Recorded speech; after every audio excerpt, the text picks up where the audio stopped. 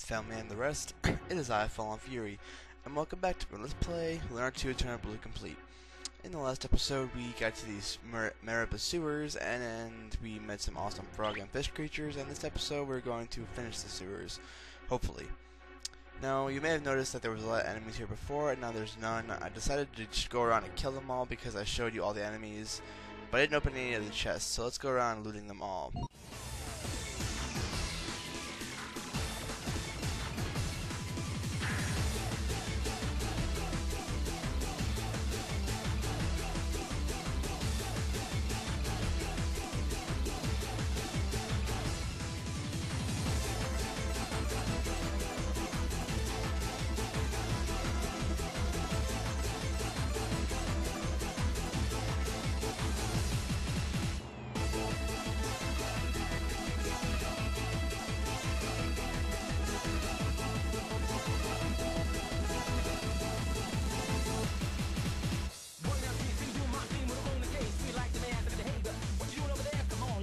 This with the air. Moving, just don't know what to do. Hey, your hand. Man, it's amazing. Put it away, it's gonna go bang, blow my brain. Ha!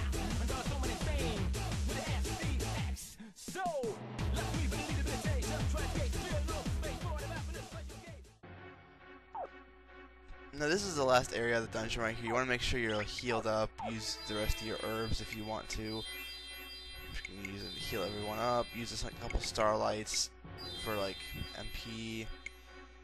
Um, Ronfar definitely needs one, and I think I'm good. So let's go. See, you can tell it's the last part because people are following behind us. Oh, boat. Let's see who, who's on that boat. Oh, it's that masked guy from Jean's Dream. And some four, four armed kids.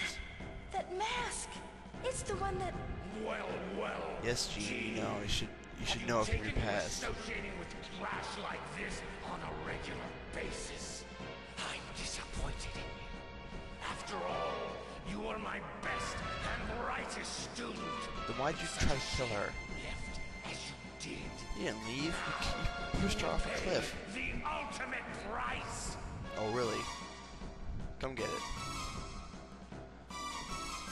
Coward, you're sending your your lackeys after me? That's not cool, man. Whatever. Oh, that's not good. Anyways, here we have they're called assassins. Um, they have two attacks. One just two regular attacks for about 20 each, and one um when they're flaming like this, that means they're gonna do an attack that does about 60 damage to you. Not terrible, but um, you definitely want to uh, get them taken care of. Hiro always use Vortex. I always use Vortex for this fight.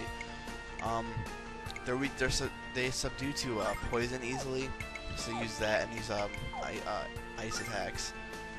Um, this this battle is it's iffy if you want to use butterfly dance because it does poison them, takes off a lot of HP every every round, but you can't tell if they're gonna do that awesome attack or not. That's the only thing that sucks about it. They always have that little, they're always shaking their head yes, but you can't see what they're doing. You know what I'm saying? I mean, I guess you could just risk it and heal every turn, but you never know. Ow. Whoa. Don't go after Ronfar again, please. Go after Gene or something. No! Ow. Oh well, Ronfar can probably heal Purity Litany or something. Because definitely you don't want to mess around with these guys. Yeah, go Ruby. See, look at it. Look how much HP that took up. That's crazy. Vortex again. Wait. Maybe Sibelium Sword on these two. Yeah, sounds like a good idea. Purity on yourself, because they Butterfly Dance on these two. And Breeze Claw again. This boss really isn't that hard, but it gave me a lot of trouble when I was younger because I, I didn't learn how to train back then. I wasn't a very good trainer back then. But as you can see now, I'm a, I am very much so. Don't kill Ronfar. Don't kill Ronfar. Please don't kill Ron Ronfar. Don't kill Ron Ronfar. Okay, good. We're in, I think we're in the clear. Yes. Okay, good. Dodge this! Why'd they have to do that, man? That's not cool. They, like, Yeah, baby, yeah! they always move to a place where it's always only one of them being targeted. Oh well. Ow. Well, at least only one of them had that crazy attack thing. That wasn't too bad, I guess. Ruby, kick his ass. See like how much damage that takes out? It's crazy. Now Vortex again. Basically, you just want to do uh, like whole area attacks because there's four of them. You want to make sure you're doing a lot. See, they're, strong against fire attacks. This Destiny dice. This Jean, um, I think S Swarm Dance does the most damage, but they don't not gonna get hit by it obviously.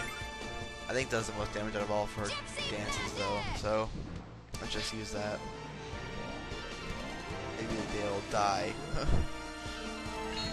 oh, nope. That was fail. Like I want, I think you want to do Tight Hero or something. And I learned something cool. Um, Ruby only attacks um, later in the game when Hiro is attacked. That's why she was attacking so much when it was only Hiro in the party, because only Hiro was getting attacked. I never know that. Um, I Heart Movies actually sh uh, showed me that, so that's kind of cool. I thanks I Heart Movies for the tip. I didn't know that, and it makes sense now because she attacks less often because she he, Hiro doesn't get attacked as much, and over. And we get a lot of experience for that, and also two Angel Tears and 600 silver. Not bad. But no one levels up because later, like, I just leveled up my team in the last little group of enemies, so... I'm proud to see you still remember all I taught you, but now you must face me. And we both know that I will use the Shadow Dragon Fist to rip out your beating heart. Shut up! Hiya! Boom. Ugh, ugh, my mask! Master, why do you run from your student? Come back and fight! If you really believe you can have a chance against me, come to the town of Haram. The tournament of death will be your most suitable form for your humiliating defeat, child. Your death will demonstrate the strength of the Shadow Dragon Fist to the world. I'm looking forward to your reunion, Jean. Ha And he goes away. Um, yeah, he's basically just a big coward. He just runs when there's a bit of danger. I mean, come on. He sent uh, rookies or like lackeys to come fight for him instead he, of him fighting himself. So, uh, yeah, to take the mask to him. And G noticed something weird about the man. It was his voice, and he has a very um, definite voice, as did uh, Lunn. You know what I'm saying? Like, and the kids are all right, but that's good because I mean, it sucks because the kids that turn that are taken away are turned into the assassins. So in reality, we just killed four kids, and that makes me feel sad-faced, sad panda. Oh well, they deserved it. They didn't want to live anyway. Wow, that sounded really, really, really morbid. And I don't know why, but in this part of the area, it still gets dungeon music, even though you're there's no possibility of having enemy encounters here. Oh well. Uh, yeah, we're back in the uh, um, dojo, I think. Yeah, we are. Let's go visit uh, Master Lunn, see what he has to say about the whole situation. Maybe he can tell us what about that mask. Maybe he can tell us who it is. Wait, why isn't he there? Hmm. Let's see, maybe his assistant has something to say. Master Lunn was summoned to the Pentagulia by the goddess, so he won't be back for a long time. Is something I can help you with in the meantime? Uh, no. I'll be leaving now. It seems that Master Lunn is summoned to the Holy City where we need to go. Maybe we'll see him there, which I will be going to rather shortly. Um, yeah, so let's see. Maybe we can get back to Taben's Peak before the end of this episode because I'm running, out of time. Let's heal just for good measure. Alright, let's go. Unfortunately, that blockade is still there, so we can't go to the next town yet. We have to go up to Taben's Peak. But I'll show you a little cool thing about Taben's Peak that I didn't know about, or that I didn't show you guys on the way back. Um, if you've gone through and talked to the kids and they don't hate you, you can take this gondola thing. I suppose you guys want to ride in the gondola. You don't realize it's an amusement park, do you? Yes and a yes. Yes, psych! But yeah, yes, yes. Well then, follow me and you can go up here.